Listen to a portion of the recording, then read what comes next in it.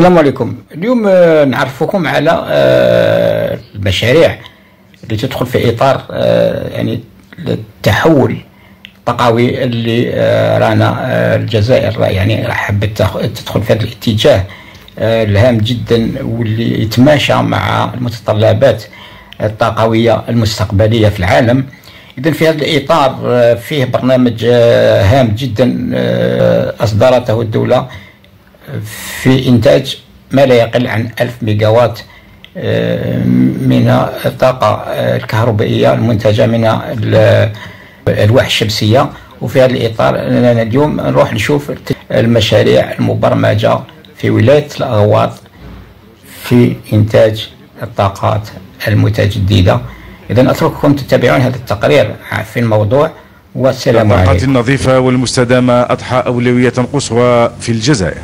مشاريع عدة تجسد هذا التوجه إلى تحقيق الهدف كمشاريع الطاقة الشمسية والتي تجسدت في إطلاق أكبر مشروع لإنتاج ألف ميجاوات من الكهرباء في عدد من الولايات الجنوبية على غرار ولاية الأغواط التي تتواجد بها أكبر محطة لإنتاج الطاقة الكهربائية بالطاقة الشمسية. الورشات التي فتحتها الدولة الجزائرية ولا سيما في الطاقات المتجددة وأذكر على وجه الخصوص الهيدروجين الأخضر. فالجزائر اليوم آه، عازمة على أن تطور هذه الشعبة شعبة الهيدروجين الأخضر أولا للاستهلاك الداخلي وكذلك للتصدير للاتحاد الأوروبي عبر بوابة إيطاليا. فالجزائر تملك ما تملك من المؤهلات سواء من البنية التحتية سواء مما يسمى بالفضاء في التكوين على مستوى الجامعات ومراكز البحث. الانتقال الطاقوي يستدعي كذلك تكوينا دقيقا واستحداث تخصصات في الجامعات والبحث العلمي. ومن بين أهم التوجهات في هذا المجال الانتقال إلى استغلال الهيدروجين الأخضر والهيدروجين الأزرق لما لهما من فوائد كبيرة. المخبر تاعنا هذا عنده يقيس جودة المياه.